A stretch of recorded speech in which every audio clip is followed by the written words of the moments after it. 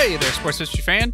This is Arnie Chapman, aka the Football History Dude, and I'm here to tell you about an awesome way for you to rub elbows with your favorite podcast hosts here on the Sports History Network. While at the same time, rooting for your hometown team this upcoming NFL season. You've been hearing all about our partner, Tailgate Fantasy, the past few weeks. Well, dig on this. Tailgate created a special Sports History Network league for our listeners so we can put the word fan back into fantasy football together. It's free to join, and if you do so before the season kicks off, you'll automatically be entered into a drawing for a free t shirt from one of our other partners, Home Field Apparel. It's a win win win! So hurry up today and head to sportshistorynetwork.com forward slash tailgate for all the details. Again, that's sportshistorynetwork.com forward slash tailgate.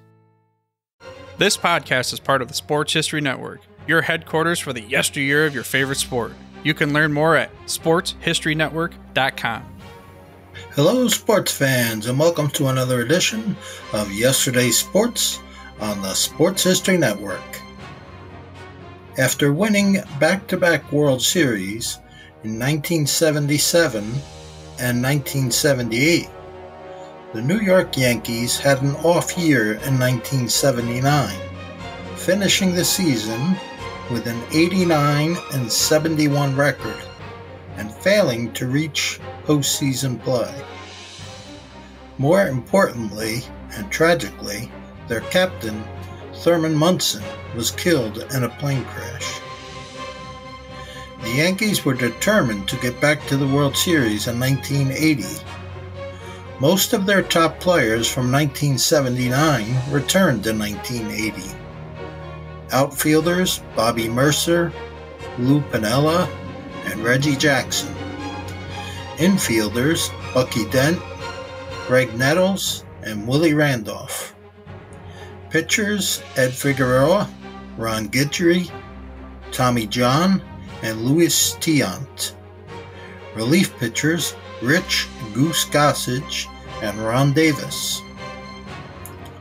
But there were some changes. Rick Cerone took over at catcher. Pitcher Jim Catfish Hunter retired during the off-season. Nearing the end of his career, Roy White went to play in Japan. First baseman Chris Chambliss went to play for the Atlanta Braves.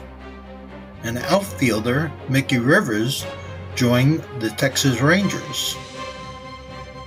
But perhaps the most significant change was that Dick Howser took over as manager. The last four and a half seasons saw Billy Martin or Bob Lemon as the Yankee skipper. The team got off to a slow start in April, but by June the Yankees were red hot, at one point winning nine games in a row. By July 19th, they had built a nine and a half game lead for first place in their division. Bucky Dent, Reggie Jackson, Graig Nettles, Willie Randolph, Tommy John, and Goose Gossage made the All Star team. Pitcher Tommy John, acquired from the Dodgers before the 1979 season, was having a great season, as was the always controversial Reggie Jackson. Catcher Rick Cerone was filling in admirably for the late Thurman Munson, while Bob Watson, who took over for Chris Chambliss at first base, was also having a great season. But as the season progressed, it became apparent that their division rival, the defending American League champion Baltimore Orioles, was a team to be reckoned with. The Yankees lost seven of the 13 games they played against the Orioles. It was going to take a lot of work to win the division. By the end of August, the Bronx Bombers were only one and a half games ahead of Baltimore.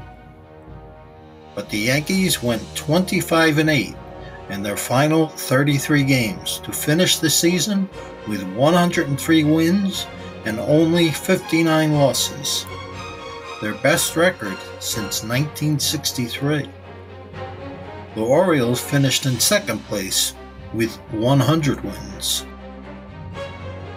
Pitcher Tommy John won 22 games while losing only 9. Ron Guidry went 17 and 10, and Goose Gossage had 33 saves on the year. First baseman Bob Watson led the team in batting average at 307. Reggie Jackson had one of the best seasons of his career, batting 300 with 41 home runs and 111 RBIs.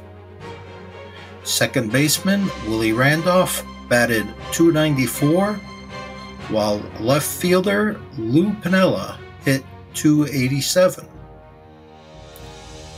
It was on to the American League Championship Series to see which team would represent the American League in the World Series. Their opponent was the Kansas City Royals, a team the Yankees had defeated in the ALCS three years in a row 1976, 77, and 78. But the Royals were no slouch finishing the 1980 season with a 97 and 65 record, the third best record in the majors.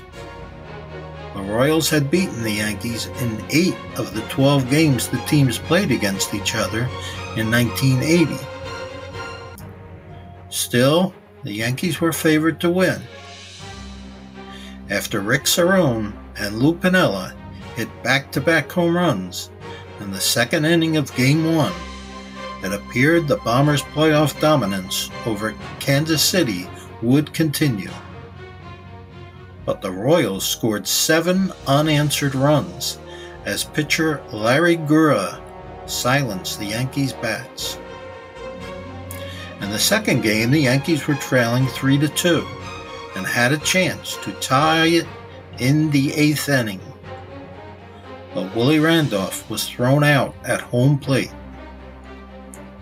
The teams would travel to the Bronx for Game 3 at the house that Ruth built.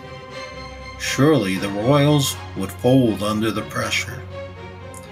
The Yankees held a 2 to 1 lead in the seventh inning of Game 3 when league MVP George Brett belted a three run homer to give the Royals a 4 2 lead. The Yankees stormed back in the eighth inning, loading the bases with no outs, but came away empty. Just like that, the Yankees' brilliant season was over. Despite leading the Yankees to their best regular season record since 1963, manager Dick Howser was fired the Yankees would win the American League pennant in 1981, but not again until 1996. As we have seen time and again over the years, the team with the best record doesn't always win the championship. That will conclude this week's podcast. Hope you enjoyed it. Thank you, and God bless. This podcast is part of the Sports History Network, your headquarters for the yesteryear of your favorite sport. You can learn more at sportshistorynetwork.com.